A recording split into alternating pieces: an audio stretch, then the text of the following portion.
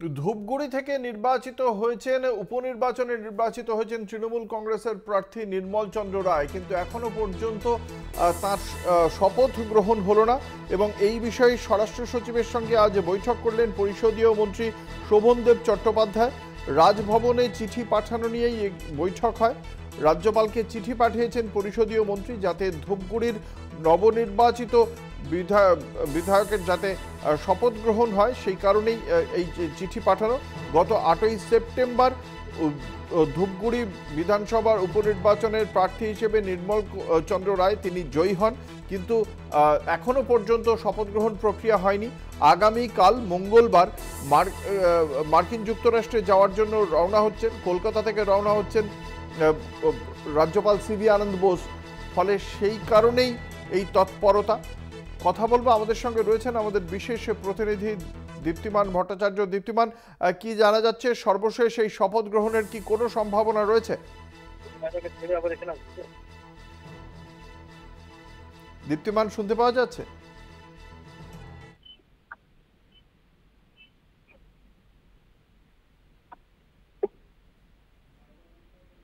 দীপ্তিমান, শুনতে পাওয়া যাচ্ছে?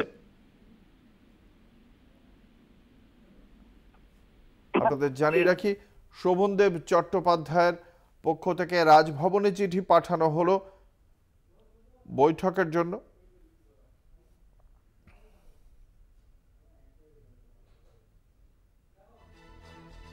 আমাদের সঙ্গে রয়েছেন বিশেষ প্রতিনিধি দীপ্তিমান ভট্টাচার্য।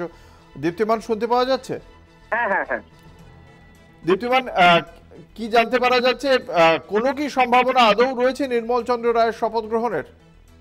দেখো, যে বিষয়টা হচ্ছে আজকে কিন্তু চিঠি দেওয়ার বিষয়টা কিন্তু ফাইনাল হয়ে গেল এবং যেটা দেখা যাচ্ছে যে স্বরাষ্ট্র সচিবের সঙ্গে আজকে বৈঠক হয় এবং বৈঠকের পরেই কিন্তু রাজভবনকে চিঠি পাঠানো নিয়ে এই বৈঠক হয়েছে এবং চিঠি পাঠিয়ে দিয়ে পাঠানো হয়ে গেছে বলা যেতে পারে।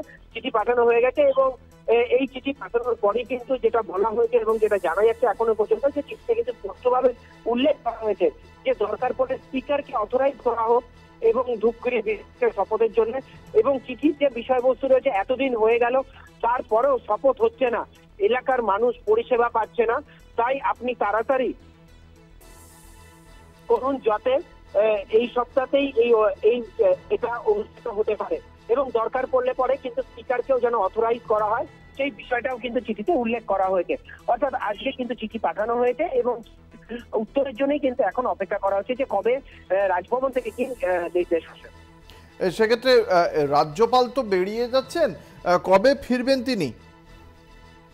এই বিষয়ে এখনও পর্যন্ত কিন্তু যেহেতু চিঠি পাঠানো হয়েছে এবং এই চিঠিটা যেহেতু খুব আর্জেন্ট করা হয়েছে, সেই জন্য মনে করা হচ্ছে যে উত্তরটা হয়তো কিছুদিনের মধ্যেই চলে আসবে। কারণ এই, এইটা যেহেতু চিঠির মর্ম, সারমর্ম একটা জিনিস স্পষ্ট লিখে দেওয়া হয়েছে যে যদি তার মানে শপথ গ্রহণটা না হয়, শপথ গ্রহণ পিছিয়ে যত যাচ্ছে তত এলাকাবাসীরা কিন্তু পরিষেবার থেকে পাচ্ছে না তারা।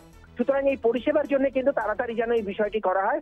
সেক্ষেত্রে আশা করা হচ্ছে যে আজকাল কাল পরশুর মধ্যেই কিন্তু চিঠির উত্তর পাওয়া যাবে। ধন্যবাদ। আমাদের সঙ্গে ছিলেন আমাদের প্রতিনিধি দীপ্তিমান ভট্টাচার্য।